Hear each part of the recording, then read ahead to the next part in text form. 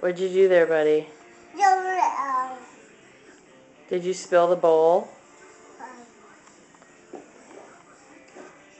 You said bowl. Where'd it go? Uh-oh. Oh, now you made a bigger mess. Who's gonna clean that up?